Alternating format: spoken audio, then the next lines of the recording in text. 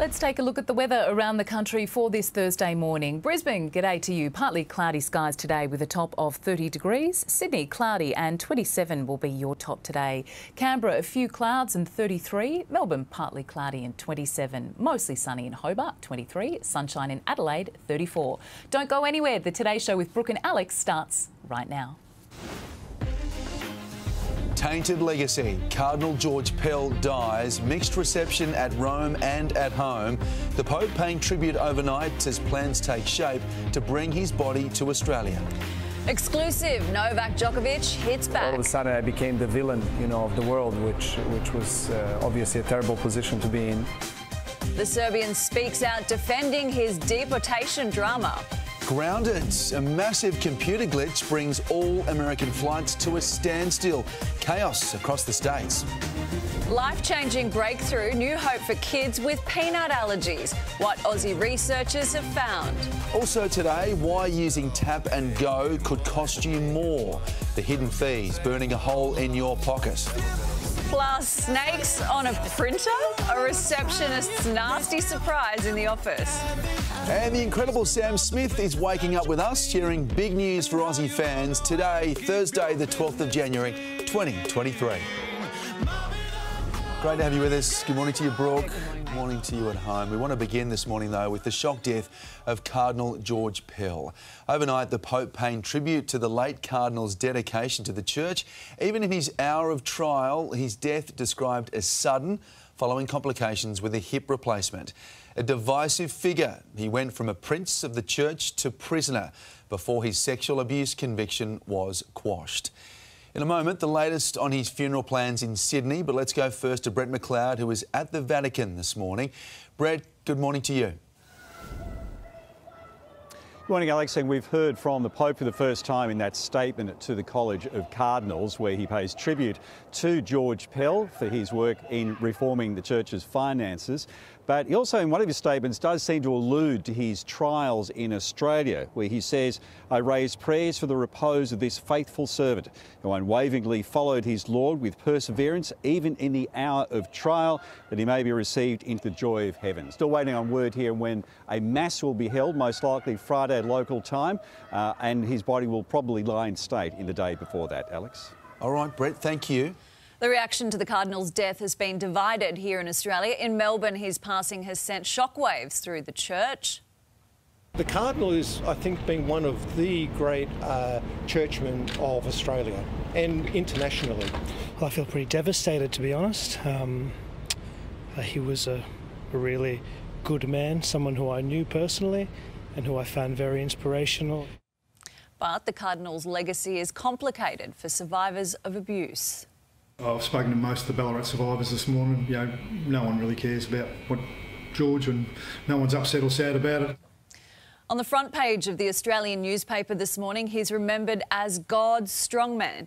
A similar sentiment shared by Liberal politicians. John Howard describing his passing as a great loss to the country. Tony Abbott declaring Australia has lost a great son. While Peter Dutton describes the Cardinal's overturned conviction as a modern day political persecution. The Prime Minister has expressed his condolences to Catholics across Australia. Let's bring in Gabrielle Boyle outside St Mary's Cathedral in Sydney. Gabby, good morning to you. The late Cardinal will be laid to rest in Australia.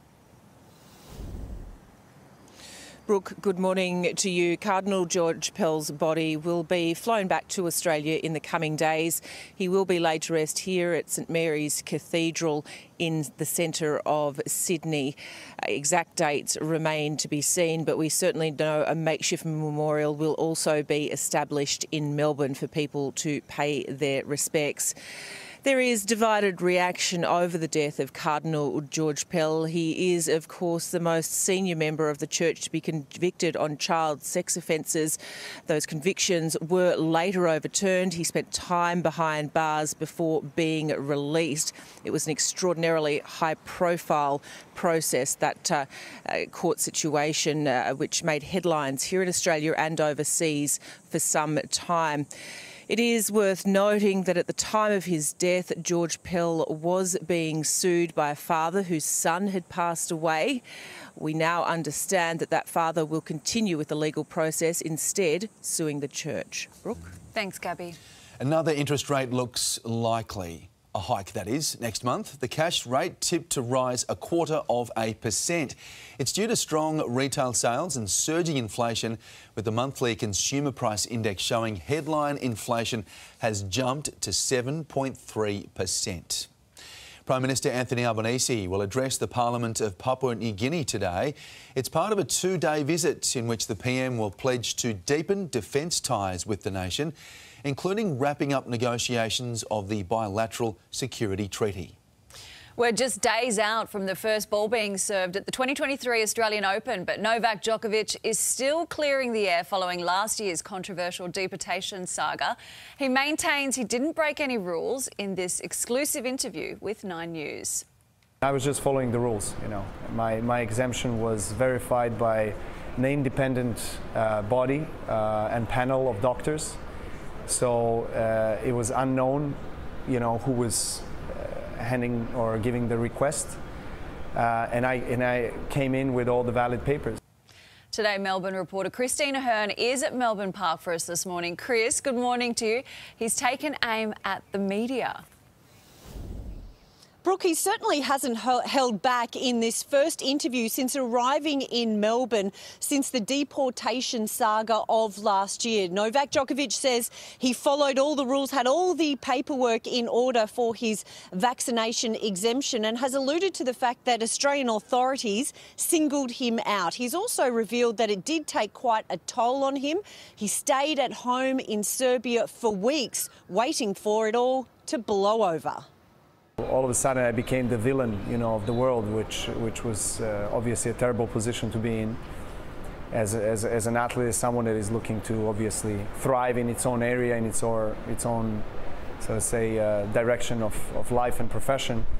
Um, but that's something that I, I, I guess I had to learn how to handle.